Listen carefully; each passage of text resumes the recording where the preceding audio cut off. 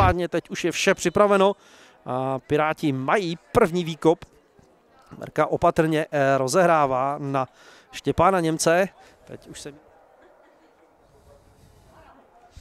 A tím tady registrujeme jednu střelu, která mířila mimo. A jeden offside. No, jak jsem říkal, Litvínovští zatím o poznání aktivnější. Častěji s míčem na kopačkách.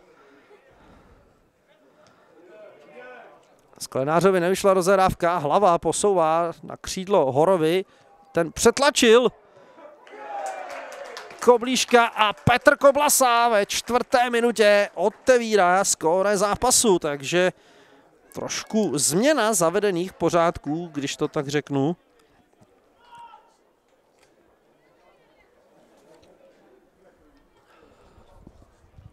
Nikola Zlava už poslal míč do vápna a tam si ho našel Ondřej Jurčík, který ve 27. minutě zvyšuje na E2-0 pro Litvínovské.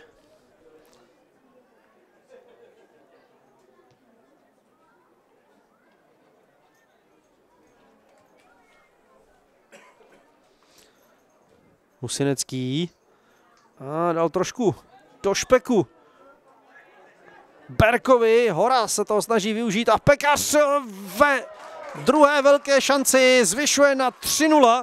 32. minuta a Matěj Pekař zvyšuje na 3-0 pro Vervu. V šedivých dresech tedy Pirátů. Kadeřávek eh, posunul Chrpovi, ten se dobře uvolnil, stále však otravuje Beran. Chrpa už ale dává dopředu, kde pílí Jakub Lauko, jenomže ve vápně není nikdo, takže to Jakub Lauko asi bude zkoušet sám.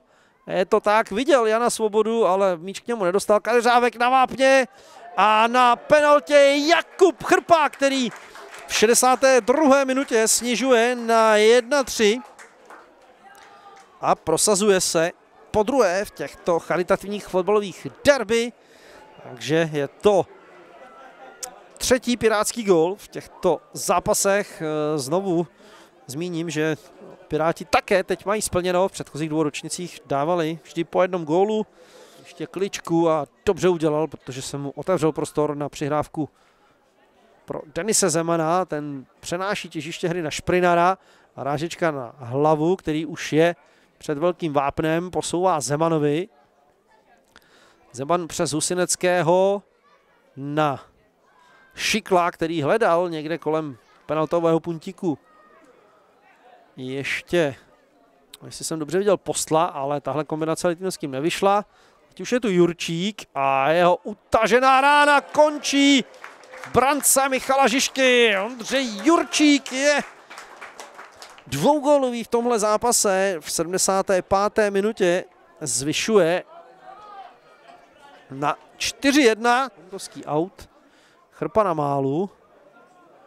Kadeřávek, tady je Němec, jeho rána, tu ale zblokoval, jestli dobře vidím, Jurčík. Barnabáš Novák to zkusil z velké dálky ke smůle Pirátů. Šel míč do prostřed branky, takže Kubík neměl příliš problémů. Sprinterský souboj. Kadeřávek versus Hlava. Hlava dobře udržel míč a posunul Šiklovi, který je v další zajímavé situaci. Přistoupil k němu Guman, Šikl rozehrál na postla a to bylo to poslední, co zhruba dvě stovky diváků tady ve Spořicích viděli.